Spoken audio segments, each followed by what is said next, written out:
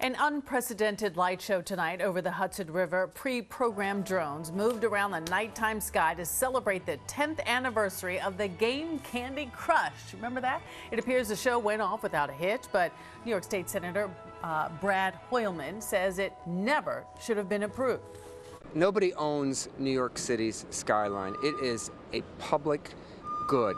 And to allow a private company to reap profits off of it is in itself offensive. Well, Hoylman also has concerns about public safety and wildlife. The FAA issued a waiver to allow the show to take place. Wow.